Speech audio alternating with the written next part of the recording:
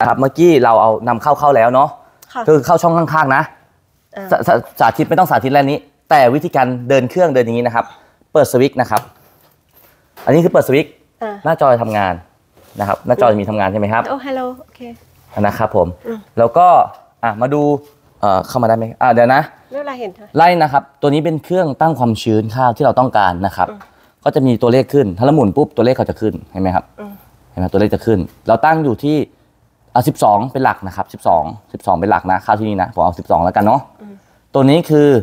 เห็นไหมครับมี1 2 3 4 5คือ1 2 3 4 5เห็นไหมครับ ค่ะตัวตู้ปริมาณ ปริมาณเราตั้งแค่เบอร์4นะครับอืมตัวนี้เป็นชนิดของข้าวนะครับ อ่า เช่นก็คือเราต้องการข้าวเราเป็นข้าวอยู่ตรงนี้อะ นะครับนะนี่คือสามปุ่มนี้มีสงสัยไหมครับ ไม่มี ไม่มีนะครับ ต่อไปนะครับ ถ้าเราไม่ต้องการตั้งเวลา เราต้องการตั้ง เราไม่ต้องการความชื้น เราต้องการจับเวลา อืม ถ้าจับเวลาแล้วหมุน ไปสุดไปถึงฝั่งเขียว มันจะเราจะตั้งเวลาแทน เวลาจะขึ้นตรงนี้เห็นไหมครับ 0.5 ชั่วโมง 1 ชั่วโมง 2 ชั่วโมง 3 ชั่วโมง 4 ชั่วโมงเห็นไหมครับค่ะไฟข้างบนจะติด ถ้าเรากดซ้ำไฟจะดับ นั่นคือการตั้งเวลาเราลดเวลาลง ถ้าเราต้องการเต็มเวลาคือช้าๆเลย 12 ชั่วโมง เขาเดิน 12 ชั่วโมงอ่าแล้วที่คุณบอกว่าถึง 20 ชั่วโมงอะอ๋อ เครื่องเขานี่คือเขาเรียกจับเวลา ถ้าเราไม่ใช่ auto ไง อันนี้คือเราเป็นคนกำหนดเวลาเองอ๋ออ่าแต่ถ้าเรา auto แล้วหมุนมาที่ ค่ะ 12 เดี๋ยวเครื่องเขาทำงานของเขาเองอ๋อ เข้าใจละ อ่าเข้าใจเข้าใจไหมฮะ เข้าใจ มีให้เลือก2โหมด โหมด auto กับโหมดเราตั้งเวลาเอง อืมอืมอืมเช่น ตั้งเวลามี auto มีไว้สำหรับอะไร เราเข้าใหม่ใส่เลยตุ้มตุ้มตุ้มอบไปเลย ค่ะ ตั้งจับเวลามีไว้ทำอะไรมีสำหรับเราเราซ่อมข้าวครับ เช่น ข้าวเราตากแล้ว หรือข้าวเราโดนความชื้นเฮ้ยอันนี้มันไม่จำเป็นต้องแบบใช้นานเดี๋ยวข้าวเสียหายใช่ เราขอสักสี่ชั่วโมงห้าชั่วโมงได้ไหมอันเนี้ยเราเข้ามาตั้งเลยอ่าเหมือนเหมือนตัวเนี้ยที่เราความชื้นลดลงไปครึ่งหนึ่งละห้าสิบใช่อ่าจะไปทั้ง20ชั่วโมงแต่ไม่ได้แต่ก็ถ้าเราไม่เข้าใจตู้น่ะ จับเวลาจะงงอืมก็ให้แนะนำว่าไซออโต้ไปเลย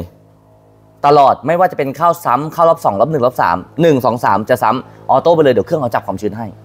อ่าแล้วพอถึงความชื้นแล้วมันจะเขาจะตัดเอง ตัดเองแต่อาจเวลามันจะสั้นกับยาวแค่นั้นเอง อ๋อออ่า ไอตัวจับความชื้นเนี่ยคือเราชำนาญแล้วเราเข้าใจอ๋อไอข้าวประเภทเนี้ยเรารู้แล้วมันประมาณกี่ชั่วโมง เราจะได้กำหนดชีวิตเราถูกเช่น เราจะทำงานกี่ชั่วโมงถึงกี่ชั่วโมงอันนี้คือเวลาอืมแต่ถ้าเราออโต้นี่คือให้เครื่องเขารันไป เราไม่ต้องมายุ่งกับเขามีหน้าที่เติมน้ำมันอย่างเดียวอืมนะครับอันนี้สามตัวนี้สงสัยไหมฮะ ไม่สงสัยไม่สงสัยนะ ต่อไปนะครับ ปุ่มที่เราใช้จริง ๆ คือ 1 2 3 4 5 6 ปุ่มนี้ ค่ะ 6 ปุ่มนี้ผมจะแปลสลับกันนะอะ นำนำข้าวเข้าอืมอันแรกที่เราเปิดเครื่องตรงนี้ ใช่ ดูนะผมเปิดให้ดูนะ เครื่องจะสิ้นเสียง เขาจะเตือนเรา พอสิ้นเสียงเตือนปุ๊บเราสามารถนำเข้าเข้าได้เลยอืมห้ามใส่ข้าวตอนที่เครื่องยังไม่เดินโอเคนะครับพอเราจะหยุดกดหยุดตรงนี้นะคะโอเคโอเคอันนี้ไม่ได้งงใช่ไหมครับไม่นะครับไม่งงสองปุ่มนี้นะครับ ระบายอากาศกับหมุนเวียนอันเนี้ยอืมอ่าเอาไว้ใช้สำหรับเราไม่ต้องการอบด้วยความร้อน เราต้องการไล่ไล่ไล่น้ำเฉยอืมๆจำอ่าเจ๊คิดว่าเจ๊จะใช้ไหม ไม่ไม่ไม่ไม่ค่อยไล่น้ำไล่น้ำหเรามายถึงว่าเจ๊มีลานไม่จำเป็นหรอกมั้งคงคงไม่เพราะว่าเราส่วนมากเราจะคือจะตากครึ่งครึ่งหนึ่งอะห้าอ่าสิบถ้าเปอร์เซ็นครึ่งต์หนึ่งผมเนี่ยก็คือจะตรงเนี้ยยังไม่อบเราใช้สำหรับข้าวที่เปียกมากๆ เราจะไม่อบ ให้ข้าวมันระบายทิ้งระบายทิ้งเฉยอืมอืมๆเราไม่ใช้สองปุ่มนี้นะโอเคเราจะมาใช้ข้ามมาใช้ปุ่มอบเลยที่เป็นพระอาทิตย์ค่ะแล้วกดปุ่มอบเครื่องจะทำงานเองหมดทุกอย่างน้ำมันจะจ่ายเองทุกอย่างอืมนะครับ ต่อไปพอเราหยุดเครื่องจะหยุดเองนะค่ะหยุดเองหมดเลยปุ๊บปุ๊บ หยุดเรียบร้อยแล้ว เราค่อยมากดออกเดี๋ยวผมจะจำลองให้ดูนะ หลังจากที่มันมันหยุดแล้วแล้วก็คือเอาเข้าออก ใช่ อบเดี๋ยวผมจะยังไม่ทดสอบอบให้เดี๋ยวผมจะค่ะทดสอบปล่อยข้าวให้ดูก่อน โอเคดูนะตรงนู้นด้านบนจะเป็นตัวเปิดปิดอัตโนมัตินะครับชอบไหมครับพี่เอากระสอบรองให้หน่อยนะครับ ใช่ครับเอ้พี่ชิดเจอเนี่ยอ่า กระสอบพระเจ้า อ่าเปิดแล้วเปิดเลยนะครับ ไม่หยุดถ้าจะหยุดทำยังไง เอามือตัด แล้วเปลี่ยนกระสอบแล้วเปลี่ยนบิ๊กแม็กใหม่ทันที ต่อให้ข้ามมันล้นเข้าไปในท่อไม่ต้องกังวลครับเดี๋ยวเขาไหลเข้าตู้เองอ๋ออ่า คือคือแต่ว่าหยุดตรงนี้ไม่ได้ ไม่หยุดไม่ควรหยุดพอหยุดเสร็จเดี๋ยวติด อ๋อโอเคคือระบบเขาละเปิดแล้วเปิดเลยคนไหนเรื่อยไม่ต้องกังวลเพราะว่าถ้ามันเต็มท่อนะครับเดี๋ยวเขาไหลเข้าตู้ไปเองคือมันก็วนไปเองอะไม่ต้องกลัวว่าข้าวมันจะขัดงั้นก็ติดเบรกมือ ติดเบรกอ่า หน่อยติดเบรกมือๆครับใช่ครับ ค่ะ แนะนำให้เบรกมือตรงนี้แทน ไม่ใช่มาหยุดตรงนี้โอเค ได้ เดี๋ยวผมจำลองให้ดูนะครับเหมือำสีค่ะ เดี๋ยวผมจำลองให้ดูนะ เพราะตอนเนี้ยข้าวไม่เยอะอะสามารถทดสอบได้ ผมจะกดให้ดูนะ โอเคค่ะ เปิดนำข้าวออกนะครับ มอเตอร์ข้างบนจะทำงานหมุนลงมาตืดลงมา เราแป๊บนึงนะฮะอืมเดี๋ยวนะโซ่ทำงานได้ไหมครับ เปิดแล้วปืดไหล เห็นไหมฮะ ลงมากระสอบเลย อืมนะครับ อันนี้คือไหนดูกระสอบ อะมอนใส่เลยนี่ครับใส่แค่นี้ เราก็ใส่พี่แบ็คใส่อะไรไปจนหมดนะครับ จนหมดอย่างเดียวนะ แต่อันนี้ผมจะลองกดหยุดให้ดู กดหยุดนะครับ ผมกดหยุด ครับแป๊บนึงตัวนู้นจะปิดเองอัตโนมัตินะครับทำไมต้องชี้ให้ดู เพราะว่าอ๋อตัวนี้นะอ่าใช่ครับชี้ให้ดูทำไม เพื่อหนูกัดสายไฟหรืออะไร เราจะได้เห็นว่าจะได้อ๋อ มันไม่ปิด นี่คือระบบเขาจะเปิดปิดเอง ไอ้ตัวสายพานเล็กๆนะที่อย่างเงี้ยนั่นโซ่โซ่ค่ะที่โซ่เนี่ยใช่เล็กๆโอเคโอเค อันนี้เข้าใจแล้วพี่เนาะเข้าใจอ่าเดี๋ยว อันนี้ที่พักไว้ก่อนเราไม่เป็นไรละเออเราจะมาลองทดสอบอบแล้วเรารู้อ่าแล้ววิธีการเอาออกแล้วนะครับได้นะครับผม ต่อไปอบข้าวแล้วไม่ต้องอะไรเราเราตั้งตรงนี้เรียบร้อยแล้ว ใช่ ตั้งเรียบร้อยแล้วนะครับ เรามีหน้าที่กดปุ่มนี้ปุ่มเดียว ที่เหลือนะครับ เครื่องจะวัดความชื้นให้นะครับ ตัวนี้ก็คือเครื่องวัดความชื้นภายในครับ นี่คือเครื่องวัดความชื้น ตัวนี้นะครับ เราสามารถสไลด์ขึ้นมาได้อ๋อนี่สไลด์ขึ้นมาได้นะครับ อย่างนี้ทำความสะอาดทุกครั้งหลังเลิกใช้งานนะครับ ก็คือดึงออกมาอย่างนี้นะครับอืมแล้วก็วางไว้นะครับอืมแล้วเราก็เอาข้าวออกให้หมด อ๋อ อ่า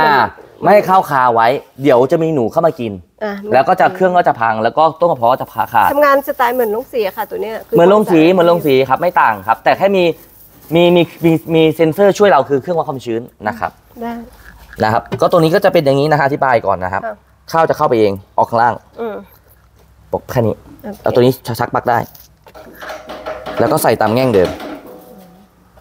ใส่ตามแง่งเดิมนะครับมันจะมีแง่งนิดนึงเลียงๆหน่อยนะเลียงพลาดยังไงก็ยัดไม่เข้าโอเคไหมฮะ แล้วก็ถ้าสะถ้าไม่จำเป็นก็ไม่ต้องถอด หรือว่า ใช่ใช่ครับเพื่อไว้เฉยๆเพื่อฝนซ่านเพื่ออะไรเงี้ยครับแค่บอกบอกไว้ก่อนจะได้รู้แล้วก็สไลด์ลงไปนะใช่ ครับ ก็คือไม่จำเป็นไม่ไม่ควรถอด เพราะว่าตรงนี้เราจะปิดอย่างเงี้ยค่ะครับ ไม่ถอดค่ะสไลด์ลงไปอย่างนี้นะฮะใช่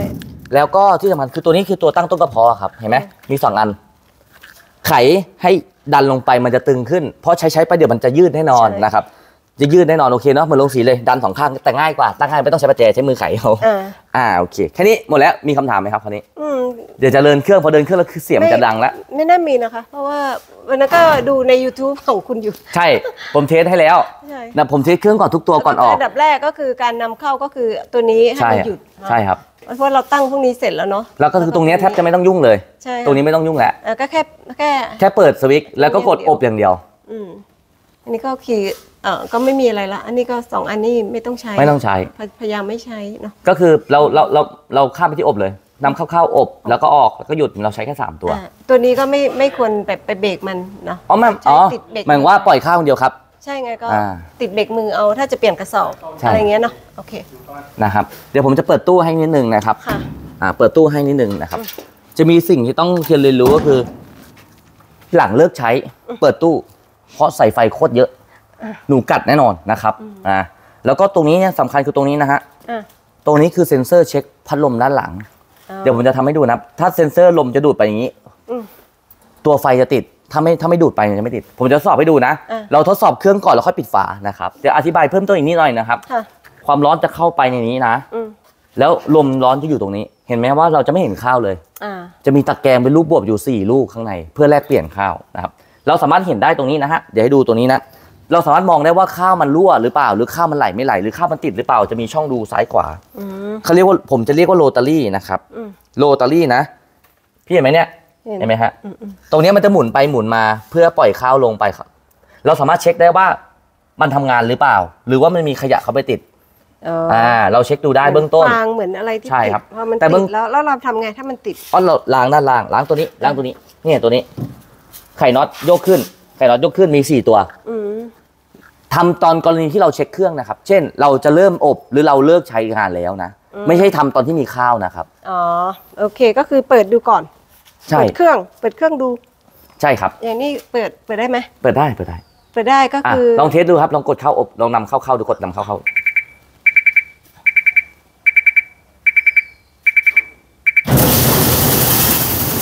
ระบบจะไม่หมุนเวียนเพ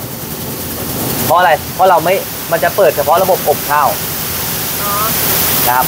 เนี่ยเสียงข้าวเข้าเห็นไหมครับ ข้าวดูดเข้าไปแล้ว แล้วแล้วเราจะให้มันหมุนยังไง กดหยุดครับ กดหยุด กดหยุดก่อน เดี๋ยวเราจะทดสอบระบบอบข้าวครับ อ่าอบข้าวเลยครับ กดเลยครับ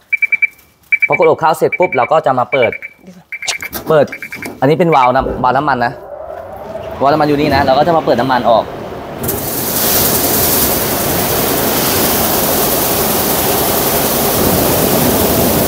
อ๋อแล้วมันเปิดผมเปิดแล้ว เปิดแล้วเปิดแล้ว นี่หัวเปิดอยู่นี่นะไฟจะขึ้นแล้วนะครับ เนี่ยไงฮะตัวนี้จะลมดูดเห็นไหมครับ ตัวนี้ลมดูด ฝาข้างทุกจุดเราต้องปิดหมดนะครับ สมมตินะ ถ้าฝาข้างเราไม่เราไม่ปิดเช่นเดี๋ยวผมทำให้ดูพี่ครับพี่ลองเปิดฝาข้างฝั่งนี้หน่อยครับเดี๋ยวเจ๊ดูเจ๊ดู ให้พี่เปิดฝาข้าง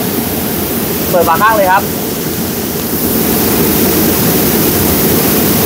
เปิดยังเอ่ย เปิดไม่เป็น อ๋อลมมันดูดลมมันดูดไม่มันต้องเปิดล็อกหน่อเปิยดยัง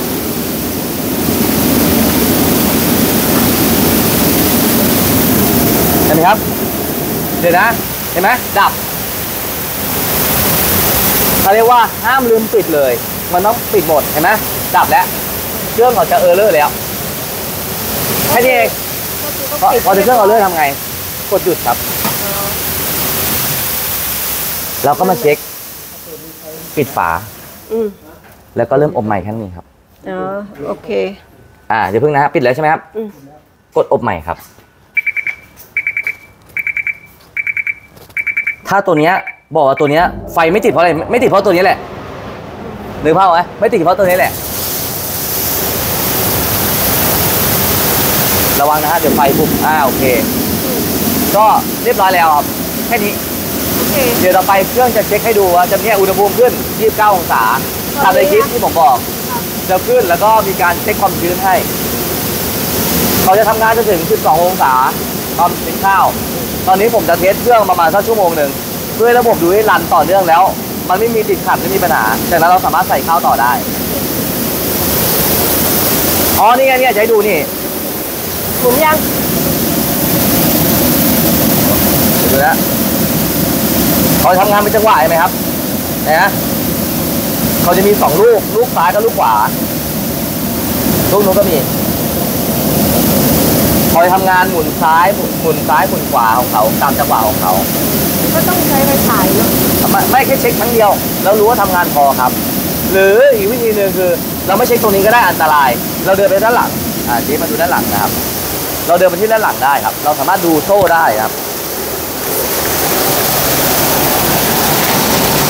ใช่ครับผมเราสามารถดูตรงโซ่ตัวนี้ได้ ว่าเขาทำงานนะครับแค่นี้แหละครับ ตัวนี้คือมอเตอร์ดึงสกรูโอเคไหมฮะ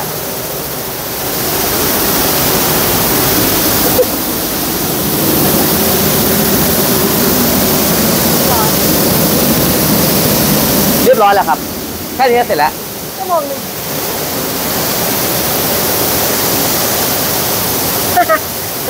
เรียบร้อยเหมือนเหมือนต้องสีอะน่ะทำ